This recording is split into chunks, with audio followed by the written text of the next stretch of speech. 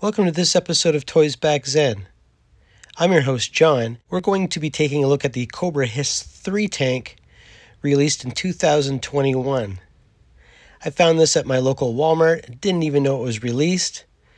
And as a fan of the vintage Hiss tank, I had to pick it up. Let's take a look at it and see what this thing is all about. I'm sure there is some changes because newer molds throughout the years um, have changed the turret. So we're going to check that out and see if that's the case with this. And uh, we're going to look at the details. Of course, it's the HISS 3, so it's not black, it's blue. And it also comes with a driver. His name is Rip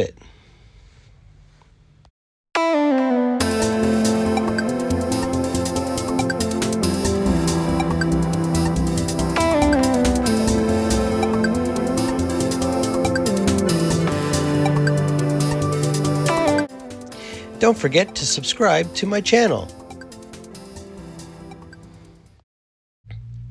So this is the Hiss 3. Here's the back of the box. Take a look at that. Picture of the figure. Let's take a look at the file card. It's in five different languages. His file name is Fred T. Booth III.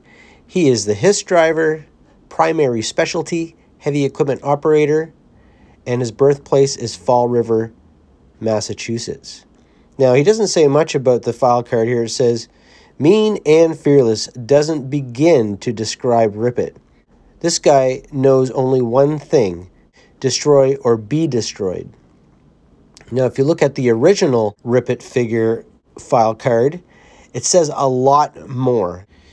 On the first version, the rest of the file card reads, and he obviously lives for the former. Generally, one to carry out orders, Rip It sometimes takes matters into his own hands by using the Hiss 3 to wage private battles of his own against G.I. Joe.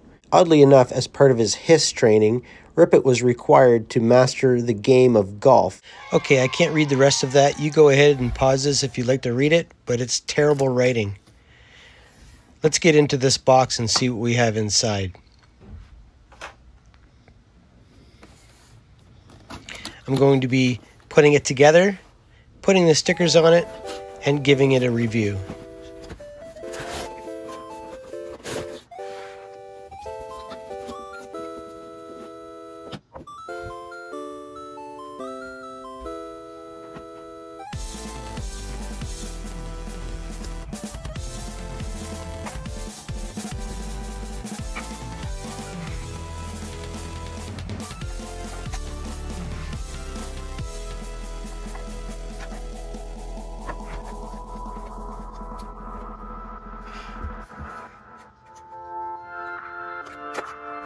The original Hiss had a very delicate ratchet system on the turret when it goes up and down. You can see that has been improved greatly uh, with this model, and I think that will last much longer.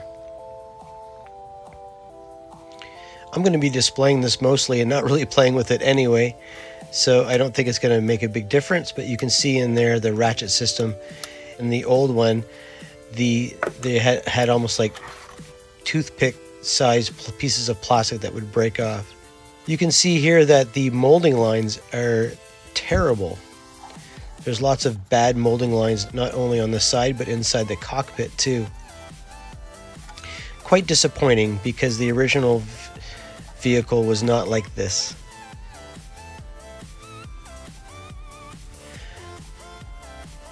It does say on the bottom 2021 and most of the details are quite similar to the original.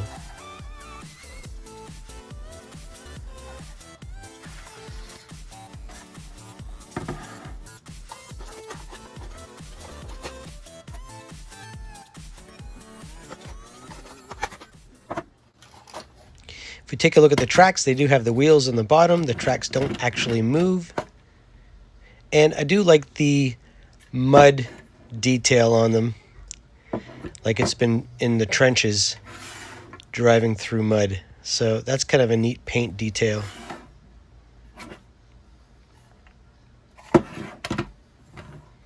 Let's take a look inside the bag.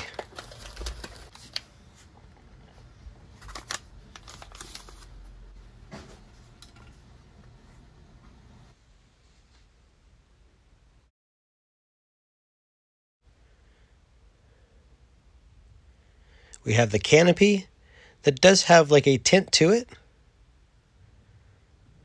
We have a figure stand that says Rip It on it. And here's the figure.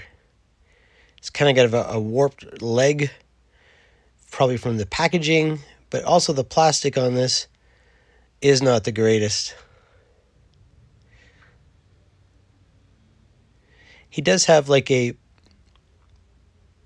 a backpack or or some kind of chest back piece that goes on. It's not molded on, it's loose, but obviously you can't take it off.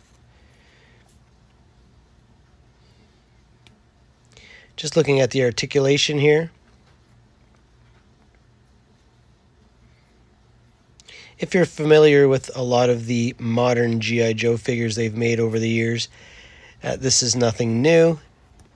The figure is pretty standard, although if you look at his head here, it's hunched over forward. There's probably a reason for that, and I'll get into that later on in this video. But uh, I, I just I'm not a fan of this figure. Not a fan of the the design.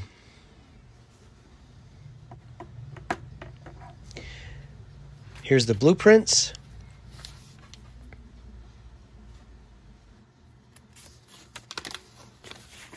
Can see inside the blueprints that it shows you how to put the vehicle together and where to place the stickers. And here is the sticker sheet. And you can see here it has the 813 numbers for the side. Just fits in the front first, slots in. Then we can click the back in and you'll hear that it's a nice secure fit. The turret goes in, there's three slots.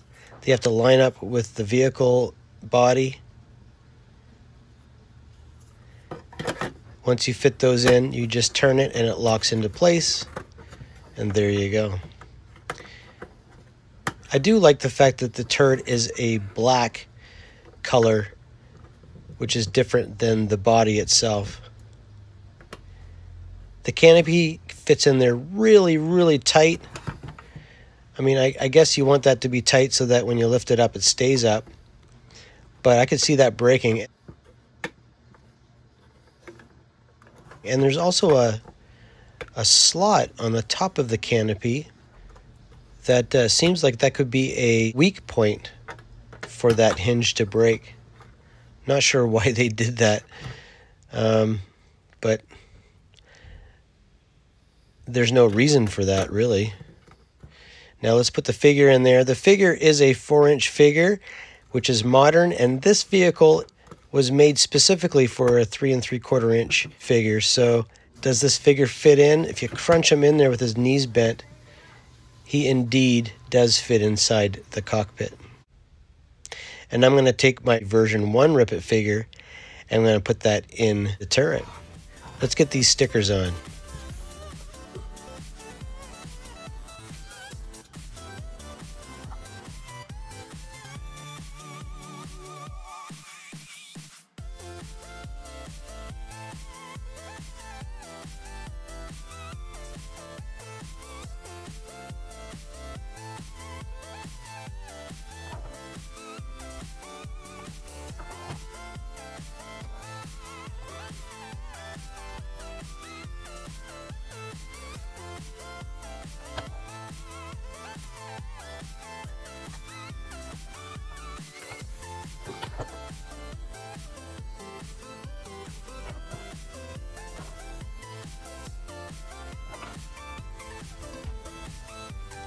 Now I had a problem with the sticker for the front grill. It actually doesn't fit in the space provided. So off camera, I'm going to try to get this on and then I'll explain to you how I did it. Very disappointing. So here it is. I just lined the bottom up with the bottom of the opening and then I just use the back of this paintbrush to push it and to set it in there. Now the top of the sticker, I had to stick to the top of the opening and it still sticks out a little bit. Not a fan of that at all.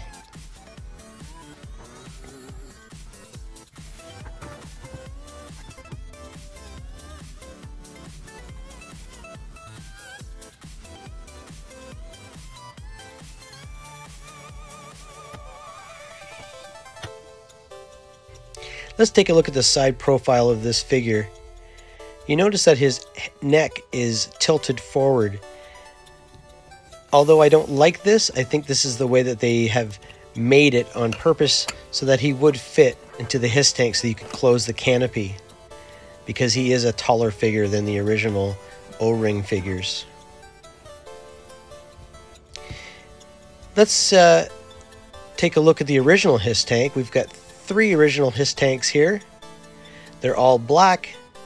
The HISS tank was originally released in 1983 and 84 and discontinued in 1985. This is the first release that Hasbro did in 84. It has the clear 788 numbers with the red outline. This is my original HISS driver from my childhood. Love this figure. He's an O-ring figure. I just replaced the O-ring in it because it was quite loose.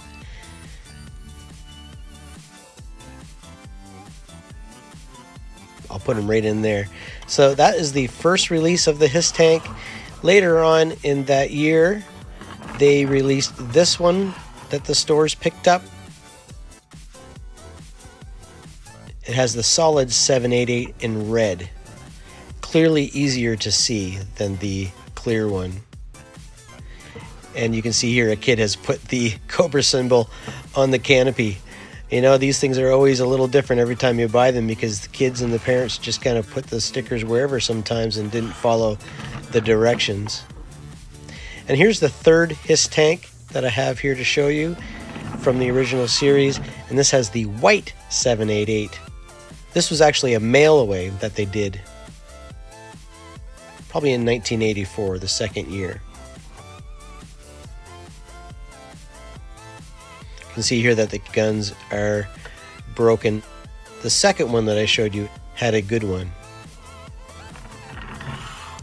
So everything is clearly the same with the molds. We did talk about how the turrets are different. But I'm really disappointed in the mold of this HISS tank.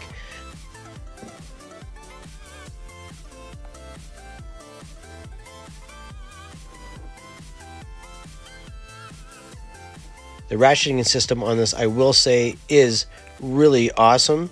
It's really nice. It does turn 360 degrees, so you can kill those G.I. Joes from all angles. And the canopy is tinted, which I like that change compared to the original ones where they were where they were clear and they have yellowed over the years. So this tinting may keep the canopy from turning yellow Here's the original figures.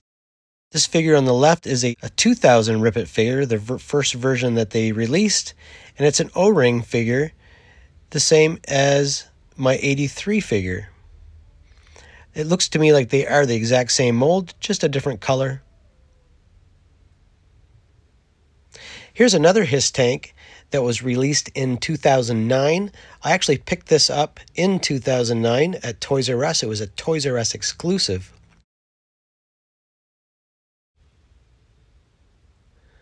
You'll notice at the back it has a white 788.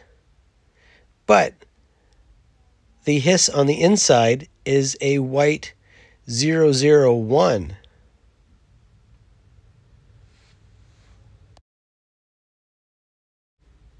You'll notice that the Cobra Hiss here from 2009 has a figure called the Cobra Hiss Commander, as opposed to Rip It from the Hiss 3, and from the original versions, the Cobra Hiss Driver.